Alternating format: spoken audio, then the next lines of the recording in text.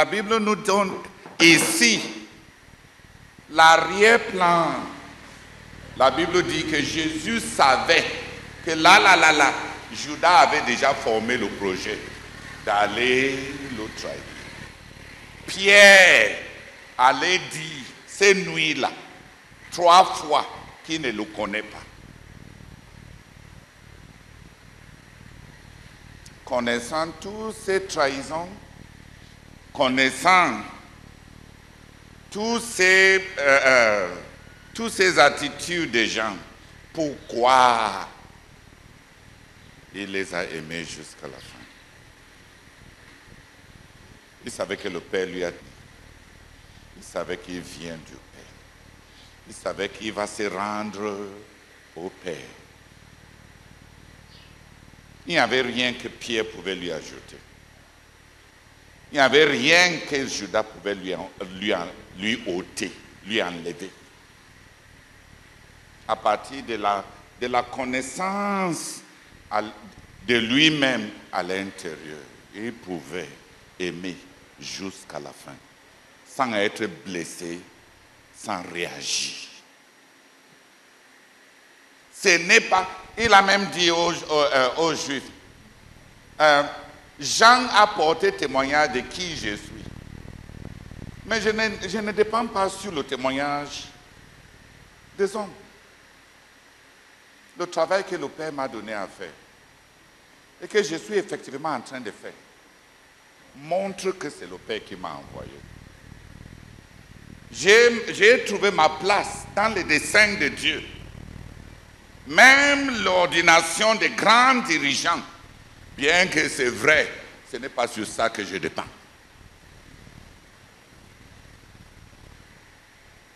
Et il a dit même aux Juifs, laissez-moi tranquille. Je ne reçois pas la gloire qui vient des hommes. Même les félicitations que vous jetez sur moi ne me touchent pas.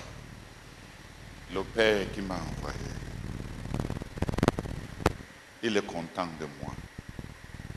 Il a dit même plus tard aux disciples, vous allez tous partir. Je ne suis pas seul.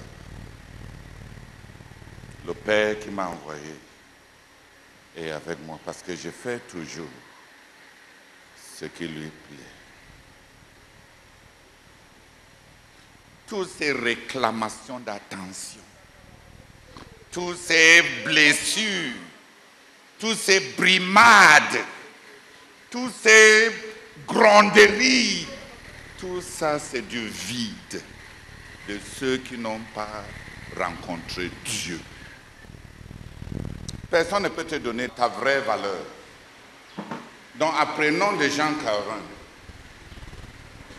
les deux dynamiques sont toujours interchangeables. Il n'y a personne qui découvre lui-même sa misère, sa nullité, qui ne découvre pas en même temps en Christ la plénitude.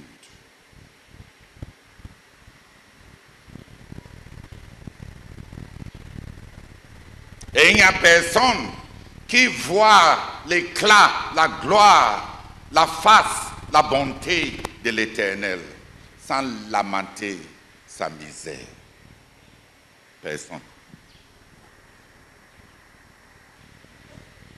On a parcouru un peu la croissance d'une œuvre de Dieu. À partir du ministère du Seigneur Jésus-Christ, la convergence de tout le ministère du Seigneur Jésus-Christ à un corps de ministère de ceux qui étaient fidèles. Le corps du ministère n'est pas composé seulement des apôtres. Les apôtres y étaient. Les, les 70 y étaient. Les femmes, les amoureux là, qui ont euh, versé toute leur vie à le suivre et à prendre soin de lui. Il était, et même sa famille naturelle. Il était. Tous les courants et toutes les pistes par lesquelles les gens avaient bâti une relation avec le Seigneur Jésus-Christ, toutes ces pistes de relations personnelles avec le Seigneur Jésus-Christ ont convergé à un engagement à la commission que lui, il a laissée.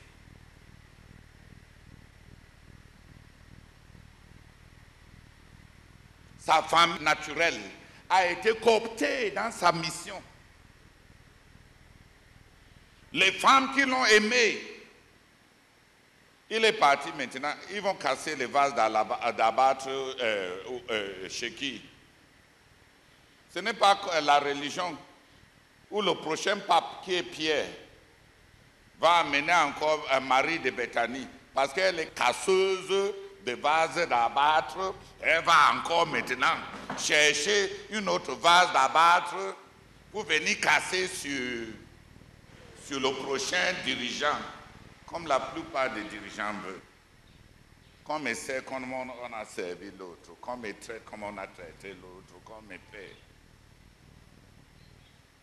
Qui ne sont que de jalousie.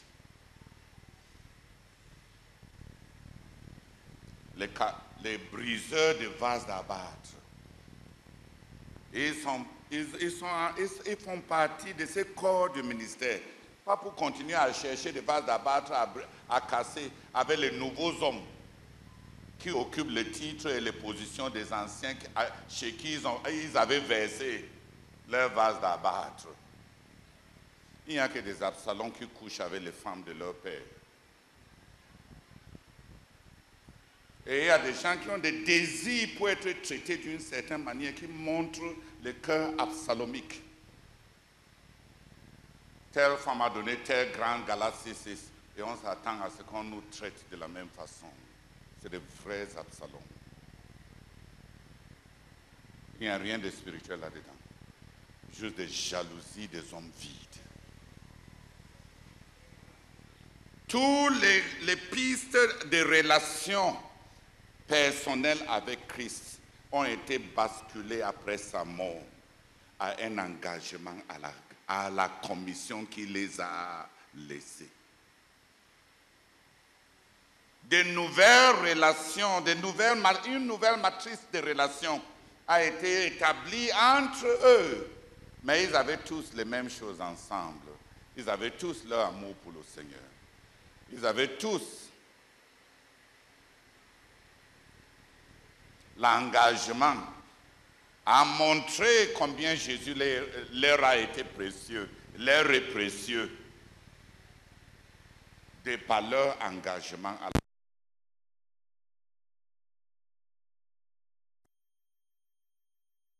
L'apôtre Paul n'avait pas encore cru.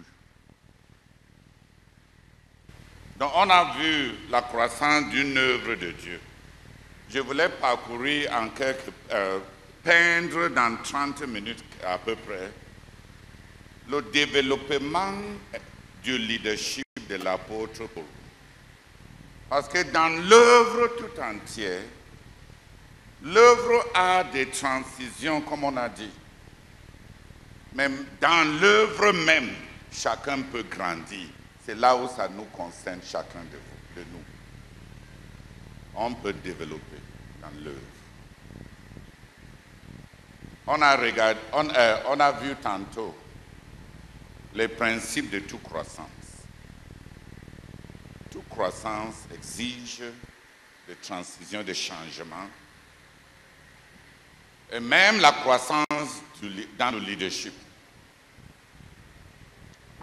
Le leadership dans tous les domaines a des seuils de transition.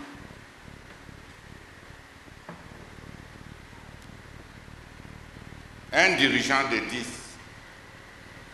et un dirigeant de 100, c'est deux seuils complètement différents. Un dirigeant de 100 et un dirigeant de 1000, c'est deux seuils complètement différents.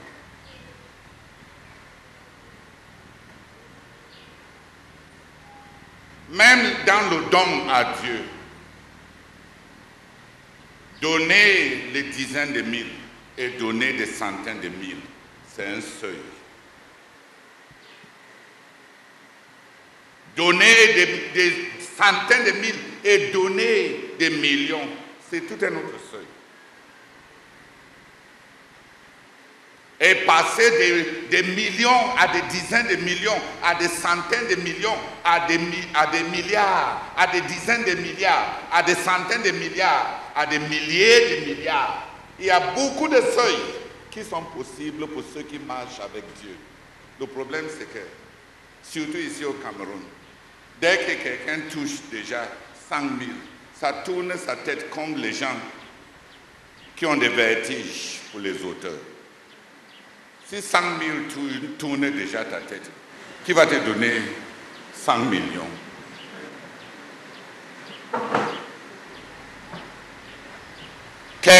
Dépose 10 millions, il crâne comme le dindon.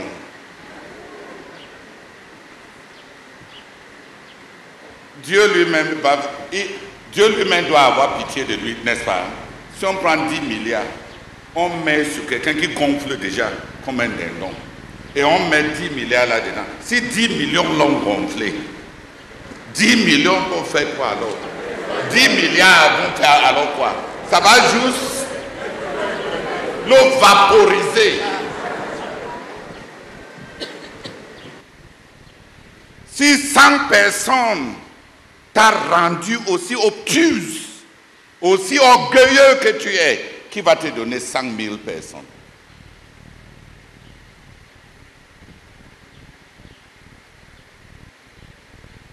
Si avec 10 000 personnes, tes pieds ne touchent plus la terre, n'est-ce pas? L'orgueil là C'est une prière à Dieu de ne pas te donner un million de, un million de personnes. Parce qu'avec un million de personnes, tu vas alors faire quoi? Déjà à 10 000, tes pieds ne touchaient plus le sol. Avec un million, est-ce qu'on va te voir encore? Il y a des seuils. Le seuil dans le leadership, le seuil dans tous les domaines.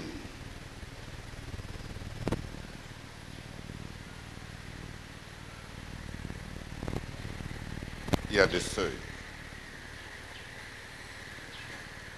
Chaque seuil où Dieu t'amène a ses épreuves par rapport au prochain seuil.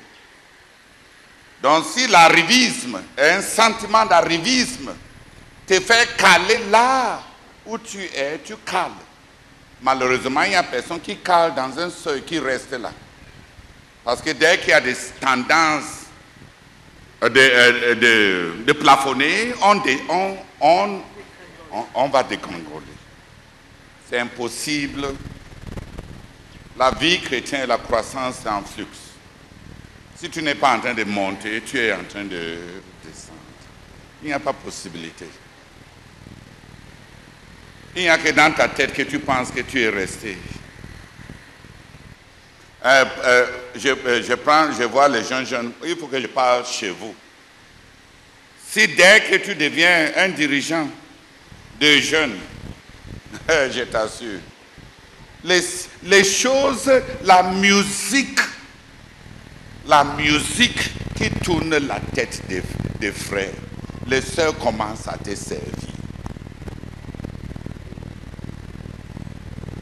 Eh frère, l'attention des femmes est, est bon.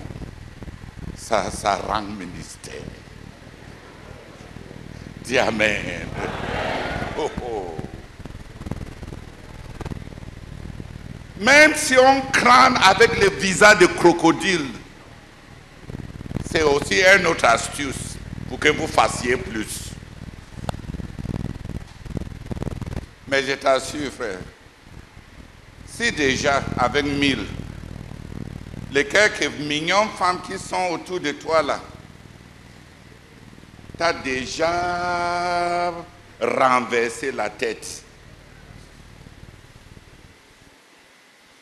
Si nos femmes ici, nos soeurs, ici au Cameroun, t'ont déjà tourné la tête. Qui va t'envoyer les Indiens pour venir te servir? Tu as déjà plafonné, tu as déjà calé, tu, es déjà foutu. Donc à chaque, à chaque fois que Dieu suscite des femmes qui t'aiment, tu es à l'épreuve par rapport à si Dieu va te donner davantage de femmes qui vont t'aimer. Grande. Prends-les pour acquis. Familiarise-toi avec eux. Use de trop de familiarité avec eux. N'est-ce pas, tu es en train de plafonner. Qui va te donner ce qui va t'amener en enfer? Chaque seuil de leadership comporte les épreuves pour la promotion. Chaque seuil de leadership et la transition de croissance et constitue les épreuves de croissance. Que ce soit en agent, euh, actuellement même au quartier général, on a constitué un comité exécutif qui va rentabiliser ce que Dieu nous a déjà donné en termes d'équipement, en termes de personnel, en termes de, de l'argent, en termes du matériel. Pourquoi je veux, je tiens à ce qu'on rentabilise. Si Dieu nous a donné, béni jusqu'à ce niveau, et on est incapable de gérer ça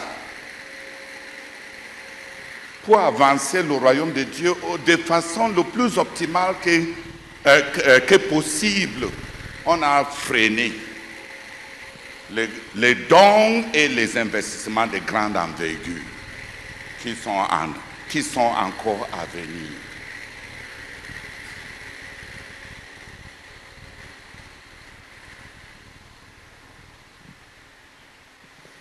Chaque bénédiction comporte en elle-même les tests pour, la, pour, la prochaine, pour les prochaines bénédictions. Les engins que euh, le frère Tawe a inventés là, c'est une bénédiction, mais c'est un test. Après cinq ans, le Seigneur va nous demander, et cela vous a apporté quoi? Et cela a aidé à mes desseins en quoi? Fais-moi le rapport. Chaque seuil est une étape de croissance, mais comporte en elle-même des tests pour davantage de croissance. Pendant le ministère du, Seigneur Jésus-Christ, sa vie, sa mort, sa résurrection, l'apôtre Paul était complètement indifférent, intouché. Et on ne sait même pas s'il avait jamais rencontré le Seigneur Jésus à Jérusalem. Il circulait dans les cercles aristocratiques. Il, avait ses ambitions de grandir dans l'échelon du leadership pharisaïque. Il était un candidat junior, le disciple que Gamaliel était en train de former pour prendre sa chaise dans le Sanhedrin. Parce que les chaises de Sanhedrin devaient être occupées par celui que tu as formé. Gamaliel était le rabbin du Sanhedrin. Il était le rabbin. Rabbin parmi le Sanhedrin était ce qu'on appelle le maître des dogmes. C'est-à-dire que euh, si, on est en train de discuter quelque chose et on veut savoir, est-ce que ceci est conforme à la loi, l'autorité qui finale d'orthodoxie, qui déclare que ceci se conforme à Moïse? C'était Gamaliel.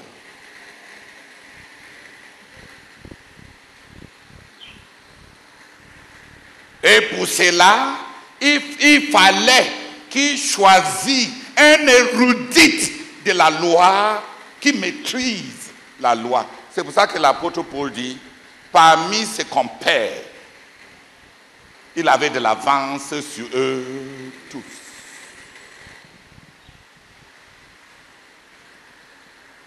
L'apôtre Paul n'a pas eu le temps de rencontrer l'homme Jésus. Lui-même, il dit, désormais, nous ne connaissons pas Jésus d'après la chair. On l'a connu, bien sûr, d'après la chair, comme Jésus de Nazareth. Mais désormais, nous ne le connaissons plus.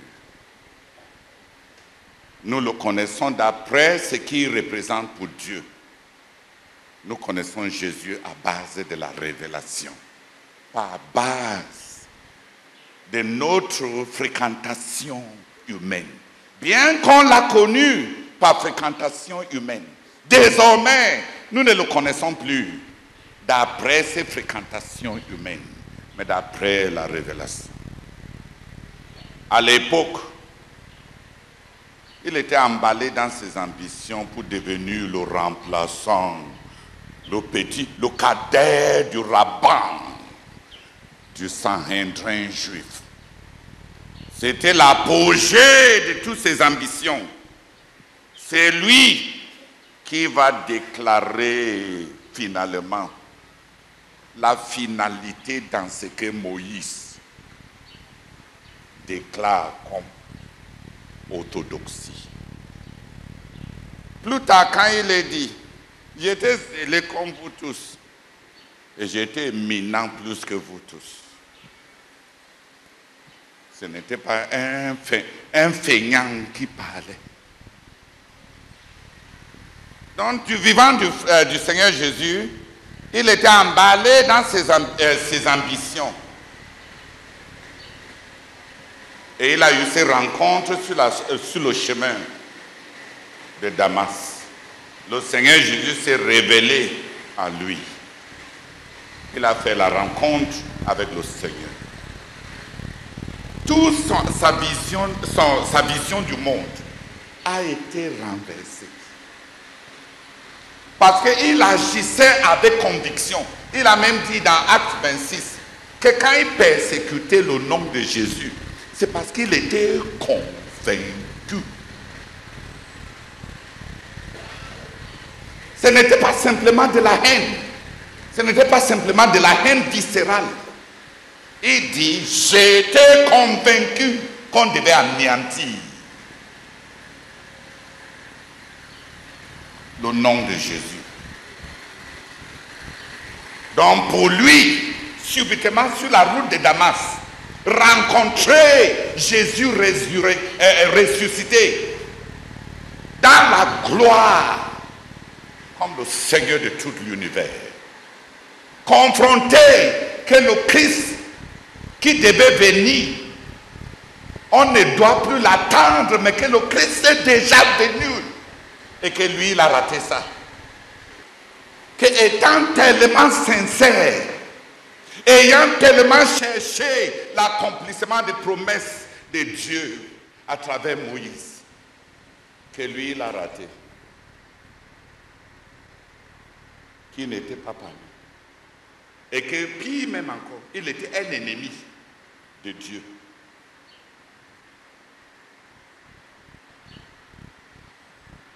que la colère qu'il avait éprouvée quand Étienne parlait, pensant que Étienne ne peut pas avoir raison, le Christ doit encore venir. Le Christ n'est pas encore venu. Si le Christ devait venir, qui d'autre a été plus sincère que moi pour pouvoir identifier le Christ? Sur la route de Damas, confronté que le Christ n'est pas à venir, mais que le Christ soit déjà venu et que lui, Saul de Tarse, a été ennemi de ce Christ. Malgré toute sa sincérité, malgré tout son acharnement, il a eu ces révélations. Il a fait trois ans, comme lui-même dit en Arabie, il avait besoin de réfléchir. Il a eu l'expérience du salut. Il avait besoin de comprendre le salut. Il a été un érudit dans toutes les promesses de Dieu. Où est-ce qu'il a raté ça? Dans la maîtrise de toutes les lois et les prophètes et les psaumes, comment se fait-il qu'il a raté ça? Dans ses manières de venir de Christ et le Christ qu'il a rencontré sur la route de Damas. C'était présenté comment dans les Écritures que lui, il a maîtrisé et pourtant a outrepassé. Il a, il a fait trois ans de retraite dans des élucubrations profondes pour assimiler, intégrer, comprendre.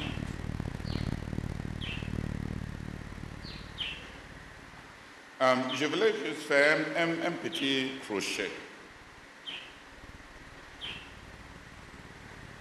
Euh, la croissance dans le leadership, c'est révélation. Je viens, avec ce que je viens de dire, c'est rencontre avec Dieu par rencontre. Qui a compris ce que j'ai dit avant là? Chaque rencontre te révèle davantage qui tu es, tu avances. Mais Paul avait besoin de comprendre la révélation, sa révélation. Euh, dans Éphésiens même, Éphésiens chapitre 3, verset 1, verset 1 à 6. Éphésiens chapitre 3, verset 1 à 6. Non, 1 à 8. Éphésiens chapitre 3, du verset 1 au verset 8.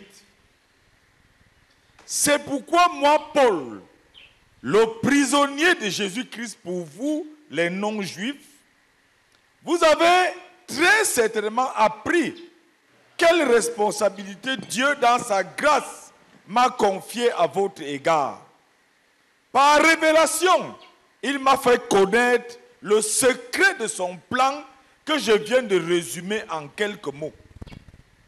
En me lisant, vous pouvez vous rendre compte de la compréhension que j'ai de ce secret qui concerne le Christ. En effet, Dieu ne l'a pas fait connaître aux hommes des générations passées, comme il l'a révélé maintenant par le Saint-Esprit à ses apôtres, ses prophètes qu'il a consacrés à son service. Et ce secret, c'est que par l'union avec Jésus-Christ, les non-juifs reçoivent le même héritage que nous, les juifs. Ils font partie du même corps et on part à la même promesse par le moyen de la bonne nouvelle. C'est de cette bonne nouvelle que je suis devenu le serviteur. Tel est le don que Dieu m'a accordé dans sa grâce par l'action de sa puissance. Oui, c'est à moi, le plus petit de tout ce qui lui appartient, que Dieu a fait cette grâce d'annoncer aux non-juifs les richesses insondable du Christ et de mettre en pleine lumière pour tout homme la façon dont Dieu mène ce plan à sa complète réalisation. Disons que Paul a reçu une révélation, la révélation du Christ. Dans ce passage euh, aux Éphésiens, il est en train de dire qu'il a pris le temps, il a reçu la révélation. Et il a pris le temps pour comprendre la révélation. Et qu'avec les, choses, les quelques choses qu'il écrit, les Éphésiens puissent essayer de, de, de, toucher un peu ce que lui, il a compris. Et il dit, il a compris des choses insondables. Il a pris le temps de comprendre l'évangile. Il a pris le temps il a reçu la révélation de Christ et il a pris le temps de comprendre l'évangile. Je n'étais pas là avec lui